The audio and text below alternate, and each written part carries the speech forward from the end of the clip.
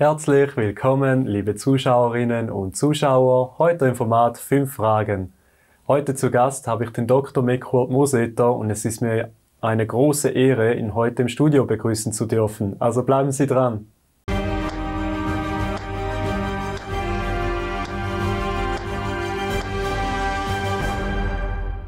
Willkommen zurück und auch herzlich willkommen, lieber Kurt. Dankeschön für die Einladung. Sehr gerne. Ja, dann würde ich auch gerne gleich schon mit der ersten Frage starten. Und zwar nimmt es mich sehr wunder, ob du irgendwelche Nahrungsergänzungsmittel einnimmst und wenn ja, welche und wenn nein, wieso? Also ursprünglich dachte ich natürlich, ich brauche das alles nicht. Natural Eating, gute Ernährung. Dann habe ich aber ganz viele Profifußballer gesehen, da haben wir alles gemessen. Die haben Defizite gehabt, Mineralstoffwechsel, Zink, Selen, Magnesium. Dann haben die Defizite gehabt in der Omega-3-Fettsäure. Die haben alle Defizite gehabt mit Vitamin D, K2 und leider auch bei der, ähm, bei der Fettsäure, Aminosäure. Dann ähm, haben wir ja einen eigenen Studiengang, Master for Medical Administration an der Fachhochschule in Bielefeld. Und da geht es um Mikronährstoffe. Und dann wurde ich auch vermessen. Und ich habe eine Wette verloren, denn ich war unterversorgt mit Omega-3.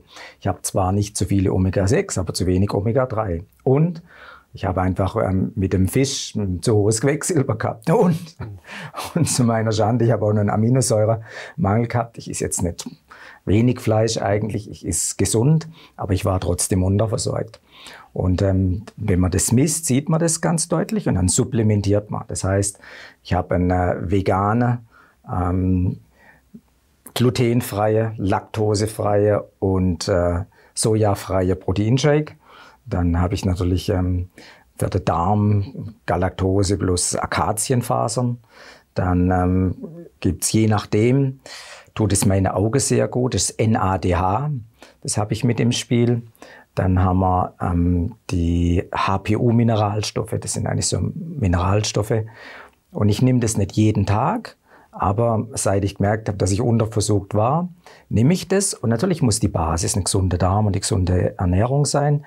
Aber da lohnt sich eben nachzuschauen. Und im Winter ist völlig klar, ähm, ich habe eine relativ dunkle Haut, mir gerade schnell in den Vitamin D-Mangel. Mhm. Und auch das habe ich in der US-Nationalmannschaft gesehen. Alle junge Männer haben einen gravierenden Vitamin D-Mangel. Die haben natürlich sowieso noch eine Hysterie mit Sandblocker 50 und 70. Dann ist die Vitamin D-Quelle weg. Aber für mich war es auch zu wenig. Deshalb wird auch das supplementiert. Yes. Alles klar. Ähm, für was nimmst denn du diese Mineralien ein? Ähm, das ist sozusagen mein, für die Muskeln Faszienstoffwechsel, aber auch für die Mitochondrien und Magnesium und ähm, dann auch Mangan und Chrom, die aktivieren die eigene Entgiftung, die Superoxidismutase, die befreie vom oxidativen Stress. Da habe ich viel Gemüse und Grünzeug und Salate, selbstverständlich, aber einfach Sinn. Und ähm, das macht eigentlich Sinn, den Körper eigene Reparaturwerkzeug hast fit zu halten. Ich arbeite sehr viel, zwölf Stunden, dann schreibe ich noch drei Stunden und äh, wenn ich jetzt schlecht essen würde, würde ich müde werden. Also im Zweifelsfall esse ich dann am Morgen nichts. Aber wenn ich dann nichts esse, brauche ich trotzdem einen äh, sozusagen Gesundheitstrunk. Ein bisschen Galaktose. Alles klar. Ja, die nächste Frage hast du schon ein bisschen an. Und zwar wird es da um die Ernährung gehen. Hast du da eine bestimmte Ernährungsform oder achtest du auf etwas Bestimmtes? Wir haben eigentlich über die Jahre eine, eine Terminologie entwickelt, aus der Evolution abgeleitete natürliche Ernährung. Natural. Dazu gibt es einen Plan, den Glykoplan. Da ist alles grün, was man immer essen kann, ab und zu essen kann, und rot, was man eher selten isst. Und das ist keine Diät, sondern das beinhaltet regional, saisonal. Da sind Heidelbeere, Himbeere, Johannisbeere drauf, Gemüse und Salate. Da ist ab und zu auch mal ein Stück Bioweide drin, Wind drin oder eine Bach und ähm, da halte ich mich recht gut dran. Dann gibt's immer mal Situationen, da gibt's ein Schokocroissant. Ja. Ein Schokocroissant bringt uns nicht um, aber jeden Tag ist zu viel. Dann ähm, da haben wir auch eigene ähm, Pizzaböden. Kichererbse, Linse, kann man eine Falafel machen oder einen Hummus machen. Man kann den anbraten. Und ähm, da gibt's alles Mögliche, aber eigentlich in Rotation. Und deshalb halte ich mich selber daran und ich wirklich ähm, erzähle. Die Profispieler, die gucken ganz genau, was die Trainer und die Docs und die Medical Departments essen. Die gucken dann, aha, ich esse zum Beispiel gern Eier. Eier von freilaufenden Hühnern, ist total gesund. Und dann noch ein bisschen Gemüse dazu. Ich esse total gern Suppe. Ja. Kichererbse, Linse, lange Zeit verkocht. Fantastisch. Das ist eigentlich Natural Eating. Das ist meine Baseline. Klingt schon mal sehr, sehr lecker. Wo finde ich denn diese Liste? Ähm, die es im Internet, kostenfrei. Glykoplan, grün, gelb, rot. Dann gibt es auch Rezeptbüchlein. Good Carbs, haben wir zusammen mit einer Apothekerin in der Schweiz geschrieben. Good Carbs, also No Bad Carbs, Good Carbs. Dann gibt es ein schönes Buch, Zucker, der heimliche Killer. Ja. Ähm, dann es mit Rezepten. Und äh, auch jetzt entstehen nochmal neue Rezepte in unserem biochemischen, klinische Biochemie-Lehrbuch. Denn ähm, wenn man den Leuten rät, bestimmte Dinge weniger zu essen, die sie halt häufig konsumieren, brauchen sie eine Alternative vom Guten. Ja. Es gibt noch Zucker, Krankheit Alzheimer, auch da gibt es noch ähm, schöne Rezepte. Und von der FMH-Schriftenreihe, das ist die Fachhochschule da in Bielefeld, gibt es ähm, Schriftenreihe, da ist der Glykoplan nochmal durchexerziert. Das findet man dann dort unter der Fachhochschule oder bei uns auf, dem, äh, auf der Homepage. Oh, perfekt. Da werde ich mich gleich dann auch noch ein bisschen schlau lesen. Ähm, ja, gehen wir zu der nächsten Frage. Und zwar, wie hältst du dich körperlich wie aber auch geistig fit in deinem Alltag? Also ich habe schon als kleines Kind gelernt, sozusagen eine Mischung zwischen Gebet oder Meditation. Und ich glaube, wenn man viel Stress hat und in verrückter Zeiten, da ist wichtig, dass man sich auf die innere Sinnhaftigkeit besinnt dass man eigentlich, heute heißt es Mindfulness oder Achtsamkeit, dass man sich auf sich besinnt und dass man sich auf sich besinnt, zentriert und in Ruhe nach außen schreitet. Und je größer der Stress, umso wichtiger ist es. Je größer der Stress in der äußeren Welt, umso wichtiger, dass man sich auch abagiert. Also ich laufe sehr gern, zweimal in der Woche. Und ähm, wenn äh, möglich, gehe ich auch gern auf den Berg. Ich war früher auch Klettern und Bergsteiger. Ich bin einmal abgestürzt, in der Unachtsamkeit. Jetzt habe ich keine Angst vor dem Berg, aber ich mache das jetzt moderat. Aber die Berge, die Höhe, die Luft, also die Natur, natürliches Vitamin D, das ähm, hält mich fit. Aber ich mache das moderat. Wir haben auch schon Seite gehabt, da war es übertrieben. Ja. Und wenn man das übertreibt und wenn man zu viel macht, dann quält man sich. Man meint, es tut einem gut, man gewöhnt sich dran, aber der Trainingseffekt ist dann weniger gut. Heute ist es moderater. Und ich achte heute auf den Schlaf. Ich habe Jahre gehabt, da war ich für Bayern München und für Hoffenheim aktiv. Da habe ich drei Stunden Schlaf gehabt über lange Zeit. Ähm, ich habe gedacht, mir geht's gut, aber mein Bruder hat mir signalisiert, ähm, du bist eigentlich sehr, sehr gestresst, du merkst es schon gar nicht mehr. Heute oh. schlafe ich mehr und wenn ich äh, viel arbeite, gucke ich trotzdem, dass ich ähm, entweder früh genug ins Bett gehe oder dann an einem anderen Tag mal schön ausschlafe. Also Schlafkultur ist wichtig. Da würde ich gleich noch eine kleine Frage dazwischen setzen. Ähm, jetzt hast du den Schlaf angesprochen. Was würdest du jetzt empfehlen, wie viele Stunden, dass man so ungefähr schlafen sollte? Viele Menschen meinen, es geht nur gut mit wenig Schlaf. Ja. Das meinen sie nur. Aber der Slow Wave Sleep und der tiefe regenerative Schlaf, sodass man bis 100 auch fit bleibt, der braucht Zeit. Mhm. Deshalb ist der Tipp für alle, es lohnt sich, wenn man mehr schläft und wenn man ab und zu länger schläft. Und man kann die Qualität vom Schlaf verbessern, indem man am Abend keine Sabotage macht. Abends Blaulicht weg, Computer aus.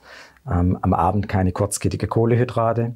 Am Abend keine exzessive Stressleistungen, weder sportlich noch kognitiv. Dann findet man leichter in die Ruhe. Und dann hat man eine schöne Schlafarchitektur und dann wacht man gut auf. Ähm, wenn jemand immer im Bett bleibt, dann ist auch ein Zeichen dafür, dann ist die Schlafarchitektur schlecht. Ähm, dann nützt nichts, wenn man mehr schläft. Dann ja. muss ich gucken, dass der Darm gesund bleibt. Ein gesunder Darm prägt einen gesunden Schlaf. Und das hilft unserem inneren Rhythmus. Deshalb der Tipp für alle eher ein bisschen mehr schlafen. Vielen herzlichen Dank. Ich glaube, das ist das Thema Schlaf äh, beschäftigt so viele Leute in der Gesellschaft inzwischen mhm. leider auch durch viel Stress und durch wenig Zeit da war es noch extrem hilfreich, jetzt deine Punkte nochmals mhm. so zu hören. Ja, ich denke auch der nächste Punkt könnte für sehr viele interessant werden, jetzt wo es wieder ein bisschen kälter wird. Äh, da möchte ich dich gerne fragen oder darum bitten, äh, wie kann ich mein eigenes Immunsystem am besten unterstützen? Das Immunsystem möchte gern trainiert werden. Das heißt, das Immunsystem hat gern ähm, Wärme und Kälte, also dass man sich gut ansieht und rausgeht und frische Luft einatmet. Also man braucht frische Luft, aber man soll sich nicht verkühlen. Ja. Ähm, dann brauche ich einen gesunden Darm. Der Jahreszeit sind die Immunglobuline A, die Oberflächeantigene auch für Nase, Raum, Racheraum und Ohren wichtig. Das heißt, eine gesunde Ernährung, gegebenenfalls in der Zeit noch ein Brot und ein Präbiotika, absolut hilfreich. Und dann lohnt sich den Mineralwerkzeugkasten fürs Immunsystem, zum Beispiel Zink, up-to-date zu halten. Zink ist für die schnelle Immunantwort notwendig. Und wenn es zu niedrig ist, muss man es halt supplementieren. Sonst prinzipiell viel Grünzeug. Und die Arbeitstiere vom Immunsystem sind Aminosäuren. Also entweder ich habe wertvolles Protein, Kichererbse, Linse ähm, und so weiter, oder ich habe noch einen guten Proteinshake. Aber ich muss tatsächlich in der Zeit was dafür tun, dass ich ähm, fit bleibe. Wenn man sich schwach fühlt, dann lohnt es sich auch, die Mitochondrien wach zu halten. Die Mitochondrien sind nicht nur als Energiekraftwerke der Zelle aktiv, sondern die sind auch ganz schnell aktiv für die Immunabwehr. Und wenn sie dann dort effizient waren, schalte sie wieder zurück und dann gebe sie uns wieder Energie. Und ein Schlüssel dabei ist Vitamin D3 und K2. In der Jahreszeit alle meine äh, Mitarbeiter kriegen alle zur Weihnachten Vitamin D3 und K2. Ja, so gut. Ja, das ist auch eine super Strategie, um seine Mitarbeiter fit zu mhm. halten. Ja. Ja, vielen herzlichen Dank. Das Vitamin D3, das wusste ich schon, aber das K2, das ist mir jetzt neu. Da das werde ich mir auch noch äh, kaufen müssen. Das ist eigentlich äh, sind untrennbare Partner. Ja. Und das K2 sorgt dafür, dass das Calcium eben nicht in die Gefäße geht, sondern dass es an den Ort des Geschehens geht. Das verstoffwechselt es schön. Und in Kombi sind die wundervoll fürs Gehirn, aber auch für den Regenerationsstoffwechsel ein total cooles Duo. Wenn der Darm gesund ist, kann er sogar selber produzieren. Ah, okay. Und in der Hühn, bei den Hühnern die Grasfresser findet man es dann auch in dem gesunden Ei. Da hat man dann auch nochmal wertvolle Substanzen mit drin. Ah, deshalb auch das Ei in deiner Ernährung. Genau. Macht alles Sinn. ja, lieber Kurt, jetzt sind wir schon gleich bei der letzten Frage. Und zwar würde ich dir da gerne noch ähm, die Chance geben, zu den Zuschauern direkt, direkt zu sprechen. Ähm, was möchtest du aus deinen ganzen Erfahrungen, an deinem Wissen ihnen noch mit auf den Weg geben?